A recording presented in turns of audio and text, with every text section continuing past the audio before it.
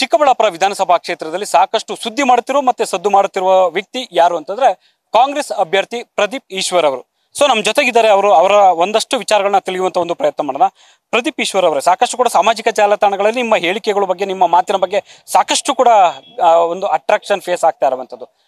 ಚಿಕ್ಕಬಳ್ಳಾಪುರ ಕ್ಷೇತ್ರದಲ್ಲಿ ನಿಮ್ಮ ಓಡಾಟ, ಹೋರಾಟ ಹೇಗೆ ನಡೀತಿದೆ? ಸರ್, ನಾನು ಹೋರಾಟ ಐದು ವರ್ಷದಿಂದ ಮಾಡಿದ್ದೀನಿ. ಓಡಾಟನೂ ಮಾಡ್ಕೊಂಡು ಬಂದಿದ್ದೀನಿ. ನಾನೇನು ಜನಕ್ಕೆ ಹೊಸಬನಲ್ಲ. ನಾನು ಈಗಿರೋ ಪ್ರತಿಸ್ಪರ್ಧಿಗಳಿಗಿಂತ ನಾನು ತುಂಬ ಪರಿಚಿತ. ನಾನೊಂದು ಹತ್ತನ್ನೆರಡು ವರ್ಷ ಇಲ್ಲಿ ಕೋಚಿಂಗ್ ಸೆಂಟರ್ ಇಟ್ಟವನು, ಒಂದು ಸಕ್ಸಸ್ಫುಲ್ ಕೋಚಿಂಗ್ ಸೆಂಟ್ರಲ್ಲಿ ಪಾಠ ಮಾಡಿದವನು. ಕಳೆದ ಹನ್ನೆರಡು, ಹದಿಮೂರು ವರ್ಷದಲ್ಲಿ ಚಿಕ್ಕಬಳ್ಳಾಪುರದಿಂದ ಈ ಸರೌಂಡಿಂಗಲ್ಲಿ ಯಾರೆಲ್ಲ ಡಾಕ್ಟರ್ಸ್ ಇಂಜಿನಿಯರ್ಸ್ ಆಗಿದ್ದಾರೆ, ಅದರಲ್ಲಿ ಏಯ್ಟಿ ಪರ್ಸೆಂಟ್ ಹುಡುಗರು ನನ್ನ ಟ್ಯೂಷನ್ ಸೆಂಟ್ರಿಗೆ ಬರ್ತಿದ್ದವರು. ಅಷ್ಟೇ ಅಲ್ಲದೆ ನಾನು ಸ್ಥಳೀಯ ವಾಹಿನಿಯಲ್ಲಿ ಸಂಪಾದಕನಾಗಿದ್ದವನು. ಒಂದು ಮೋಟಿವೇಶ್ನಲ್ ಟಾಕ್ ಶೋ ಮಾಡ್ತಿದ್ದೆ, ಅದು ತುಂಬ ಇನ್ಫ್ಲೂಯೆನ್ಸ್ ಮಾಡ್ತಿತ್ತು. ಈ ಎಲ್ಲ ವಿಚಾರದಲ್ಲಿ ನಾನು ಪ್ರತಿಯೊಬ್ಬರಿಗೂ ಪರಿಚಿತನಿದ್ದೀನಿ ಸರ್. ಸೊ ಇದೆಲ್ಲ ಫ್ಯಾಕ್ಟರ್ಸು ನನಗೆ ಪ್ಲಸ್ ಆಗ್ತಿದೆ. ಅದೆಲ್ಲದಕ್ಕೂ ಮೀರಿ ನಾನು ಸರ್ಕಾರಿ ಶಾಲೆಗಳನ್ನ ದತ್ತಕ್ಕೆ ತೊಗೊಂಡಿದ್ದೀನಿ ಅನಾಥ ಮಕ್ಕಳನ್ನ ಓದಿಸ್ತಿದ್ದೀನಿ ಇವೆಲ್ಲನೂ ನನ್ನ ಕೈ ಹಿಡಿತಾ ಇದೆ. ನಾನು ಗೆಲ್ತೀನಿ ಸರ್. ನಿಮ್ಮ ಪ್ರತಿಸ್ಪರ್ಧಿ ಪ್ರಭಾವಿ ಪ್ರಬಲ ಸಚಿವ doctor K Sudhakar.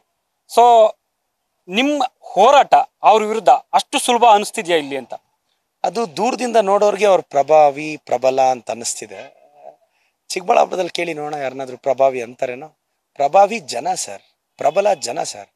Voting machine ಮುಂದೆ ಹೋಗಿ ಅವ್ರು ಏನು ಡಿಸೈಡ್ ಮಾಡ್ತಾರೋ ನೆಕ್ಸ್ಟ್ ಎಲೆಕ್ಷನ್ ಅವರು ಇದಾಗ್ತಾರೆ. ಸೊ ಪ್ರಭಾವಿ ಪ್ರಬಲ ಅಂತೆಲ್ಲ ದೂರದಿಂದ ನೋಡೋರಿಗೆ ನಮಗೆಲ್ಲ ಹಂಗೇನಿಲ್ಲ ಸರ್. ಕ್ಷೇತ್ರದಲ್ಲಿ ನೀವು ಗೆಲುವಿಗಾಗಿ ಏನು ರಣತಂತ್ರವನ್ನು ರೂಪಿಸಿದ್ರೆ ಯಾವ ಥರ ಮಾಡಬೇಕು ಅನ್ಕೊಂಡಿದ್ರೆ ಸಿಂಪಲ್ ಸರ್ ಜನಕ್ಕೆ ಒಳ್ಳೇದು ಮಾಡ್ತೀನಿ ಅಂತ ಪ್ರಮಾಣ ಮಾಡಿದ್ದೀನಿ ಒಳ್ಳೇದು ಮಾಡ್ತೀನಿ. ಇಷ್ಟೇ ನನ್ನ ಸ್ಟ್ರಾಟಜಿ ನಾನು ಪ್ರಾಮಾಣಿಕವಾಗಿರ್ತೀನಿ. ಯಾಕೆ ಪ್ರದೀಪ್ ಈಶ್ವರ್ ಅವರಿಗೆ ಯಾಕೆ ಓಟ್ ಹಾಕ್ಬೇಕು ಜನರು? ನಾನು ಪ್ರಾಮಾಣಿಕವಾಗಿರ್ತೀನಿ ಒಂದು ರೂಪಾಯಿ ಲಂಚ ಮುಟ್ಟಲ್ಲ. ನನ್ನ ಆಸ್ತಿ ಘೋಷಣೆ ಮಾಡ್ತೀನಿ. ನಾನು ಎಷ್ಟು ಪ್ರಾಮಾಣಿಕವಾಗಿರ್ತೀನಿ ಅಂತ ಪ್ರೂವ್ ಮಾಡಿ ತೋರಿಸ್ತೀನಿ. ಇದು ನಿಮ್ಮ ಪ್ರತಿಸ್ಪರ್ಧಿಗೆ ಆಗ್ತಿರುವಂಥ ಸವಾಲ ಏನು ಅಂತ?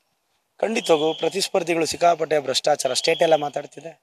ನಲ್ವತ್ತು ಪರ್ಸೆಂಟ್ ಕಮಿಷನ್ಗೆ ಮುನ್ನುಡಿ ಬರೆದವ್ರು ಯಾರು? ಹೋಗ್ಲಿ ನಲ್ವತ್ತು ಪರ್ಸೆಂಟ್ ಕಮಿಷನ್ನ ಪಿತಾಮಹ ಯಾರು? ನಮ್ಮ ಚಿಕ್ಕಬಳ್ಳಾಪುರದ ಶಾಸಕರೇ ಅಲ್ವಾ?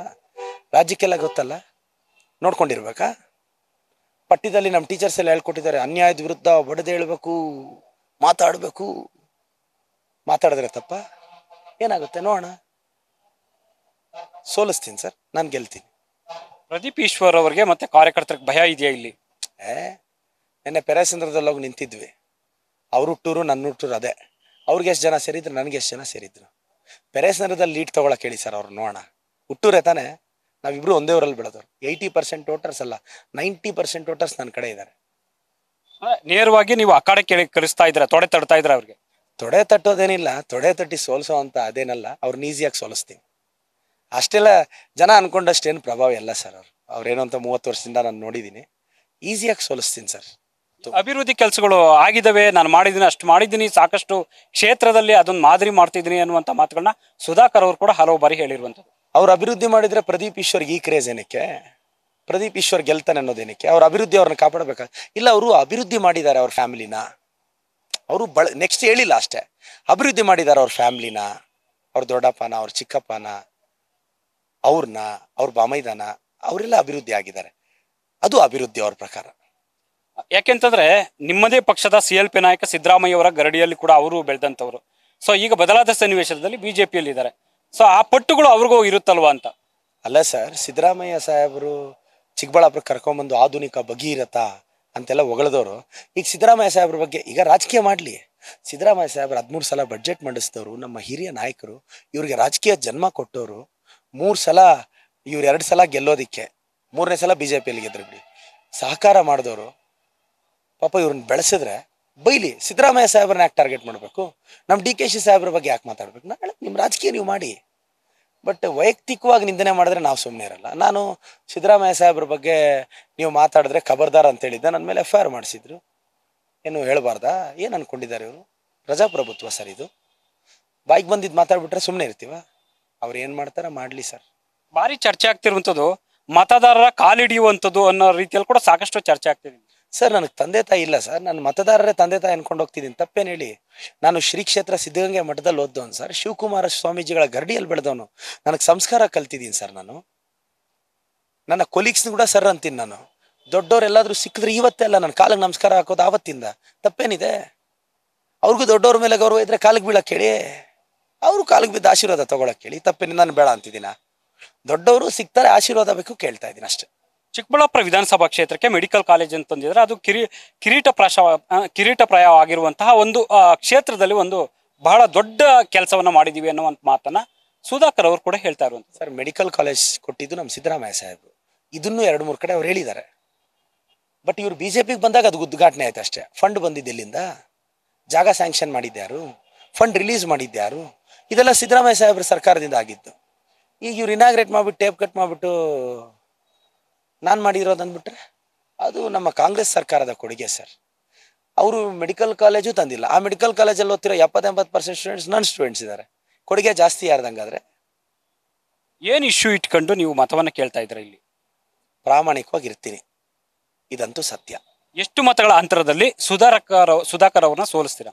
ಸರ್ ಇದು ನೋಡಿ ಅವ್ರು ಹೇಳ್ದಂಗೆ ಏನೋ ಐವತ್ತು ಸಾವಿರ ಅದು ಇದು. ಇನ್ನು ಬೇರೆ ಪ್ರತಿಸ್ಪರ್ಧಿಗಳೆಲ್ಲ ಕಳೆ ಬೀಜ ತಿಂತಿರ್ತಾರ. ಅವ್ರು ಬಾಯಿಗೆ ಬಂದಂಗೆ ಮಾತಾಡಿದ್ರೆ. ನಾನು ಹೇಳೋದು ಅಂತರ ಅಂತಲ್ಲ ಗೆಲ್ತೀವಿ ಸರ್. ಮೊದಲೇ ಹೇಳ್ಬಿಟ್ರೆ ಅದು ಥ್ರಿಲ್ ಇರಲ್ಲ. ಇತಿಹಾಸ ಸೃಷ್ಟಿ ಮಾಡ್ತೀನಿ ಸರ್. ಅದಂತೂ ಸತ್ಯ. ಪ್ರದೀಪ್ ಈಶ್ವರ್ ಅವರ ಕಾನ್ಫಿಡೆನ್ಸ್ ಯಾವುದದು? ನನ್ನ ಕಾನ್ಫಿಡೆನ್ಸ್ ನನ್ನ ಧೈರ್ಯ ಸರ್. ಸ್ಟ್ರೆಂತ್ ಜನ ನನ್ನ ಮೇಲೆ ಇಟ್ಟಿರೋ ಪ್ರೀತಿ. ನಾನು ಹೋದ್ರೆ ಸೆಲೆಬ್ರಿಟಿ ನೋಡ್ದಂಗೆ ನೋಡ್ತಿದ್ದಾರೆ ಸರ್. ಒಂದೊಂದು ಊರಲ್ಲಿ ಮುನ್ನೂರು ನಾನ್ನೂರು ಜನ ಸೆಲ್ಫಿಗೆ ಮುಗಿ ಬೀಳ್ತಿದ್ದಾರೆ ಸೆಲ್ಫಿ ತಗೊಳ್ಳೋ ರೋಟ್ ಹಾಕಿದ್ರು ನಾನು ಗೆದ್ದು ಬಿಡ್ತೀನಿ ಸರ್. ನೀವು ಸುಧಾಕರ್ ಜೊತೆ ಮಾತನಾಡಿರುವಂಥದ್ದು ಮುಖಾಮುಖಿ ಆಗಿರುವಂಥದ್ದು ಅಥವಾ ಬೇರೆ ಏನಾದ್ರೂ ವಿಚಾರ ಅವ್ರ ಹತ್ರ ಚರ್ಚೆ ಆಗಿರುವಂಥದ್ದು ಆ ತರದ ಸನ್ನಿವೇಶಗಳು ಇದಾವ? ಎಂಥದ್ದು ಇಲ್ಲ ಸರ್. ಈಗ ನಾವಿಬ್ರು ಒಂದೇ ಊರವರು. ಒಂದೇ ಊರಿಗೆ ಸೇರಿದಾಗ ಒಂದೇ ಊರಲ್ಲಿ ಕರಗ ಇಂಥ ಕಾರ್ಯಕ್ರಮ ಮಾಡಿದಾಗ ಒಂದೇ ವೇದಿಕೆಯಲ್ಲಿ ಕೂರಿಸ್ತಾರೆ. ನಾನು ಆ ಕಡೆ ಕೂರುತ್ತಿದ್ದೆ ಅವ್ರು ಈ ಕಡೆ ಕೂರೋರು. ಹಂಗೆ ಅಂತ ಕೂರಬಾರ್ದು ಹಂಗೇನಾದ್ರೂ ಇದೆಯಾ? ಕೆಲವು ಊರಿನ ಕಾರ್ಯಕ್ರಮದಲ್ಲಿ ಒಂದೇ ವೇದಿಕೆಯಲ್ಲಿ ಇರ್ತಿದ್ವಿ. ಅಷ್ಟೇ ಅಷ್ಟಕ್ಕೆ ಅದು ಸೀಮಿತ. ಸೊ ಈ ಭಾಗದಲ್ಲಿ ಚಿಕ್ಕಬಳ್ಳಾಪುರ ಭಾಗದಲ್ಲಿ ಸುಧಾರಕರ್ ಅವರು one and only strong person ಅವ್ರು ಉಳಿದಂತೆ ಯಾರು ಕೂಡ ಅವ್ರ ಮುಂದೆ ಗೌಣ ಎಲ್ಲರೂ ಕೂಡ ಗೌಣ ಯಾರು ನಿಲ್ಲೋದಕ್ಕೆ ಆಗೋದಿಲ್ಲ ಅನ್ನುವಂಥ ಒಂದು ಪರಿಸ್ಥಿತಿ ಸಂದರ್ಭ ಇದೆ ಅನ್ನೋ ರೀತಿಯಲ್ಲಿ ಕೂಡ ಅವರು ಬಿಂಬಿಸ್ಕೊಳ್ತಿದ್ದಾರೆ ಅಂತ ಅನ್ಸುತ್ತೆ. ಅವರು ಲೀಡರ್ಸ್ನ ನಂಬ್ಕೊಂಡು ಹೋಗ್ತಿದ್ದಾರೆ. ನಾನು ವೋಟರ್ಸ್ನ ನಂಬ್ಕೊಂಡು ಹೋಗ್ತೀನಿ. ನೋಡೋಣ ಏನಾಗುತ್ತೋ? ಈಗ ಅವ್ರ ಸ್ಟ್ರಾಟಜಿ ಗೆಲ್ಲುತ್ತೋ ನನ್ನ ಸ್ಟ್ರಾಟಜಿ ಗೆಲ್ಲುತ್ತೋ ನಾನು ನೋಡ್ತೀನಿ. ಸೊ ಅಂತಿಮವಾಗಿ ಮತದಾರರಿಗೆ ಏನು ಹೇಳಕ್ಕೆ ಇಷ್ಟಪಡ್ತೀನಿ ನನ್ನ ನಂಬಿ ಅಪ್ಪ ಅಮ್ಮ ಇಲ್ದರ ಹುಡುಗಗೆ ನೀವೇ ತಂದೆ ತಾಯಿ ನನ್ನ ನಿಷ್ಠೆಯಿಂದ ಪ್ರಾಮಾಣಿಕತೆಯಿಂದ ಯಾರಿಂದ ಏನೂ ಅಪೇಕ್ಷೆ ಮಾಡದೆ ಆಡಳಿತ ಕೊಡ್ತೀನಿ. ನನಗೇನು ದೊಡ್ಡ ದೊಡ್ಡ ಆಸೆಗಳಿಲ್ಲ ಇನ್ನು ಮೂರ್ನಾಲ್ಕು ಸಲ ನಾನೇ ಗೆಲ್ಲಬೇಕು ಇಂಥದ್ದಿಲ್ಲ ಒಂದು ಅವಕಾಶ ಸಿಕ್ಕಿದೆ ನೀಟಾಗಿ ಪ್ರಾಮಾಣಿಕವಾಗಿ ದುಡಿತೀನಿ ನನ್ನ ಪಕ್ಷ ಸಂಘಟನೆಗೆ ತೊಡಗಿಸ್ಕೊತೀನಿ. ಸೊ ಇದಿಷ್ಟು ಪ್ರದೀಪ್ ಈಶ್ವರ್ ಅವರ ಖಡಕ್ ಮಾತುಗಳು. ಅವ್ರು ಹೇಳ್ತಿರುವಂಥದ್ದು ನನಗೆ ಜನರೇ ಶ್ರೀರಕ್ಷೆ ಜನರೇ ಎಲ್ಲ ಆಶೀರ್ವಾದ. ಹಾಗಾಗಿ ನಾನು ಗೆದ್ದೇ ಗೆಲ್ತೀನಿ ಅನ್ನುವಂಥ ಅಚಲವಾದ ಭರವಸೆಯ ಮಾತುಗಳು ಅವರಿಂದ ವ್ಯಕ್ತ ಆಗ್ತಿರುವಂಥದ್ದು. ಕ್ಯಾಮ್ರಾ ಪರ್ಸನ್ ಶಿವನ ಜೊತೆ Harish Kakul news fast Chikkaballapura. News first.